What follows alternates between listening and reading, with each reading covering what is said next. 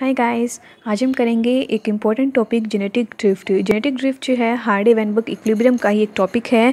अगर आपने वो वीडियो नहीं देखी तो सबसे पहले आपको वो वीडियो देखनी चाहिए, क्योंकि उसमें आपको बेस इसका क्लियर हो जाएगा कि हार्डे वैन हाँ सॉरी जेनेटिक ड्रिफ्ट आखिर है क्या? ठीक है? अगर नहीं भी देखोगे, चलो कोई बात नहीं, मैं यहाँ पर आपको अच्छे से एक्सप्लेन कर दूँगी, ठीक है? तो स्टार्ट करते हैं हमारा जेनेटिक ड्रिफ्ट जेनेटिक ड्रिफ्ट मैंने यहाँ पर सबसे पहले डेफिनेशन लिखी है. Change in allele frequency is so different in new sample of population that become a new species normally समझ में नहीं आती डेफिनेशन कभी कभी तो एक एग्ज़ाम्पल से समझते हैं।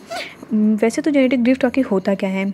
जैसे कि अगर आप को वो वीडियो देखनी है तो दे, आप देखिए ज़रूर हार्डे वैनबर्ग वाली क्योंकि उसमें आपको साथ अच्छे से समझ में आएगा ठीक है? तो यहाँ पे हम स्टार्ट करते हैं जेनेटिक ड्रिफ्ट तो यहाँ पे क्या होता है? मान लो कोई पॉपुलेशन है हमारे पास ठीक है? एक पार्टिकुलर एरिया है उसके अंदर काफ़ी सारी उसके अंदर पॉपुलेशन हैं काफ़ी सारे इंडिविजुअल रह रहे हैं। अगर उसमें से कोई एक इंडिविजुअल जो है, इस एरिया से बाहर निकल के अपनी एक खुद की अलग से एक दुनिया बना ले सो कॉल ठीक है? मतलब अपने खुद की ही एक अलग से पॉपुलेशन बना ले। मतलब ये, यही इंसान जो है चला गया किसी और एरिया में और उसने रिप्रोडक्शन के थ्रू अपनी खुद की यही एक अलग अपनी एक अलग ही दुनिया बना ली, या फिर अपनी खुद की एक पॉपुलेशन बना ली। वही कहलाती है हमारी जेनेटिक ड्रिफ्ट उसमें मैंने समझाया था कि अगर कोई पॉपुलेशन चला जाए किसी दूसरी पॉपुलेशन में शिफ्ट हो जाए तो वो कहलाता है जीन फ्लो या फिर जेनेटिक फ्लो लेकिन लेकिन अगर कोई एक वही इंडिविजुअल अपनी खुद की एक अलग जगह बना ले, अपने खुद के सारे इंसान बना ले मतलब खुद के ही उसके पर्टिकुलर एरिया खुद का ही बना ले वो, जिसमें सिर्फ़ उसी के लोग एग्जिस्ट करेंगे, ठीक है? उसी की स्पीसीज एग्जिस्ट करे तो वो कहलाती है हमारी जेनेटिक ड्रिफ्ट अब समझ में आ गया? एंड अब आप तो मतलब यहाँ पे क्या हुआ कि एक इंडिविजुअल यहाँ से गया इंडिविजुअल गया मतलब यहाँ से एक डीएनए चला गया मतलब यहाँ से एक जीन चला गया मतलब यहाँ से एक एलील माइग्रेट कर चुका है, ठीक है? माइग्रेट एक निकल चुका है एलील, ठीक है? अब आपको यहाँ पे इसकी डेफिनेशन समझ में आ जाएगी कि change in allele frequency is so different in new sample of population that they become a new species मतलब एलील फ्रीक्वेंसी में कुछ इस तरह से चेंज आया कि जो हमारी पहली वाली पॉपुलेशन थी, उससे बिल्कुल नई तरह की न्यू स्पीसीज़ बन चुकी है, बिल्कुल नई स्पीसीज़ जो है, बन चुकी है। ठीक है, वही इसका मतलब है ध्यान से समझना कि change in allele frequency allele frequency में कुछ इस तरह से चेंज आए so different new sample of population जो नई सैंपल जो हमारी नई पॉपुलेशन आई है, उसमें कुछ इस इस तरह से उसमें एलील फ्रीक्वेंसी में चेंज आया कि वो एक नई स्पीसीज़ बन चुकी है। क्यों बनी नई स्पीसीज़ क्योंकि यहाँ से तो काफ़ी सारी अलग अलग तरह की स्पीसीज़ थी, सारी इकट्ठी रह रही थी तो मिक्स सा था। लेकिन यहाँ से जब एक इंडिविजुअल गया और उसने अपनी एक अलग से बना ली अपनी से अलग से अलग ही जगह बना ली तो वहाँ पर एक ही तरह की स्पीसीज़ बन गई और बिल्कुल नया सैंपल बन के आता है, क्योंकि इवोल्यूशन हो चुका है है ना? तो बिल्कुल नई स्पीसीज़ बन के आएगी। तो वही कि एलिट फ्रिक्वेंसी में इस तरह से चेंज आया एलिट फ्रिक्वेंसी में इस तरह से चेंज आया कि जो नई पॉपुलेशन बनी, उसमें बिल्कुल नई तरह की स्पीसीज़ पाई गई, वही कहलाती है हमारी जेनेटिक ड्रिफ्ट अब मैंने सेकेंड डेफिनेशन लिखी है कि जो original drifted population becomes founder अभी यहाँ पे हमारी नई नई तरह की स्पीसीज है, ठीक है? इसमें क्या थी? इसमें सारी पुरानी तरह की स्पीसीज थी, क्योंकि कोई एवोल्यूशन यहाँ से नहीं हो रहा था। लेकिन यहाँ पे कंप्लीट इवोल्यूशन हो चुका है नई नई स्पीसीज बन चुकी हैं। तो अब जो ओरिजिनल वाली है ये हमारी क्या है, ये हमारी ओरिजिनल वाली पॉपुलेशन है। ओरिजिनल पॉपुलेशन का जो प्रभाव है, थोड़ा इफ़ेक्ट है, इसका थोड़ा फेड हो चुका है, इसे याद रखो।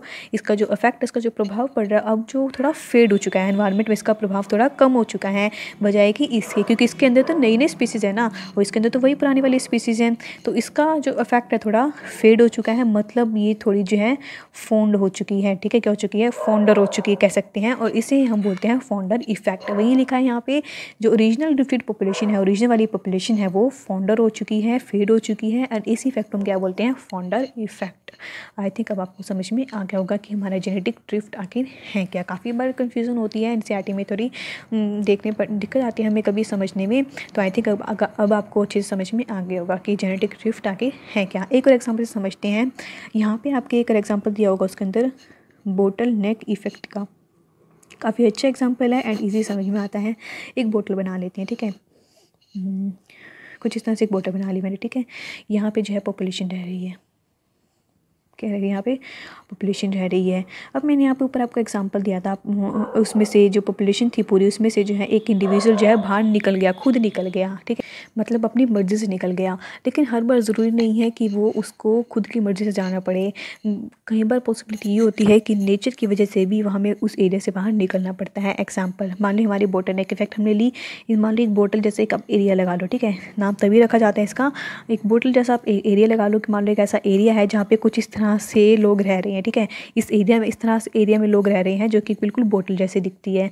तो यहाँ पे जो है बाई चांस नेचर की वजह से या फिर कुछ और यहाँ पे कुछ ड्रास्टिक कहते हैं ना, कुछ आपदाएँ वगैरह आ जाती है, ठीक है? कुछ ड्रास्टिक चेंज आ जाता है यहाँ पे।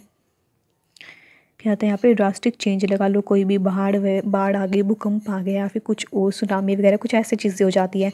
तो मान लो, ऐसी कंडीशन में जो ये वाला मोस्टली एरिया आप खुद भी आप थोड़ा सा सोच सकते हो कि अगर इस तरह की कोई चीज़ है और यहाँ पर मान लो हम कोई बम फोड़ दें, ठीक है? तो मोस्टली अफेक्टेड एरिया ये रहेगा। है ना? ये सारा अफेक्टेड जो जो है एरिया अफेक्ट रहेगा मोस्टली है ना? हमारे मोस्टली केसेस क्या रहेंगे कि यहाँ पे ये एरिया ज़्यादा अफेक्ट होगा। मान लो यहाँ पे हम कोई परमाणु बम फोड़ देते हैं, इस इस तरह के कोई एरिया में तो ज़्यादा जो अफेक्ट होगा वो ये वाला एरिया होगा, ठीक है? लेकिन जो ये वाले एरिया होंगे, इस वाले एरिया की जो पॉपुलेशन होगी, लोग होंगे, वो सर्वाइव कर जाएँगे। क्यों? सर्वाइव करेंगे क्योंकि ये एरिया कुछ इस तरह से है, ठीक है? कुछ इस तरह से जो वो होएगा, लेकिन यहाँ पे कुछ पॉपुलेशन जो है सर्वाइव कर जाएँगी। मोस्टली अफेक्टेड एरिया रहेगा ये वाला ठीक है? नीचे वाला एरिया ज़्यादा अफेक्ट रहेगा लेकिन जो ये वाला एरिया है ना हमारा ये बोटल नेक वाला बोटल की नेक वाला एरिया ये हमारा यहाँ की जो पॉपुलेशन हमारी सर्वाइव करेगी। और ये जो सब तो अब ये यहाँ से निकल जाएगी। अब ये जो सारी पॉपुलेशन है सारी की सारी ये कहीं और जाएगी और एक अपनी ही अलग से पॉपुलेशन बनाएगी। सो कोल न्यू पॉपुलेशन बनेगी मतलब अब न्यू स्पीसीज़ की ओरिजिनेशन हो जाएगी। अब आपको समझ में आ जाना चाहिए। हम्म, तभी इसका नाम पड़ा है बोटल नेक इफ़ेक्ट। मतलब बोटल की जो नेक वाली जो ए पॉपुलेशन है, उनके ज़्यादा चांसेस रहेंगे सर्वाइव करने के, क्योंकि वो एक ऐसे एरिया में है जहाँ पे उनको किसी ना कोई ख़तरा नहीं है।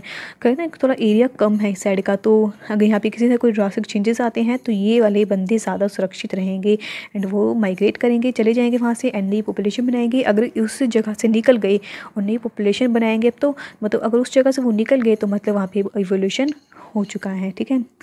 वो उस जगह से निकल चुके हैं, वहाँ पे इवोल्यूशन हो हो गया अब उनके अंदर और एक कंप्लीट नई स्पीसीज हमें देखने को मिलती है। ठीक है, यही होता है जेनेटिक ड्रिफ्ट तो मैंने पहले कहा था कि ज़रूरी नहीं है कि कोई एक इंडिविजुअल अपनी मर्ज़ी से जाए। नेचर की वजह से भी इन इंडिविजुअल्स को जाना पड़ सकता है। एंड वही एग्ज़ाम्पल है बोटनेक इफ़ेक्ट का। ठीक है? सो आई थिंक आई सब आपको समझ में आ गया होगा कि वट इज़ जेनेटिक ड्रिफ्ट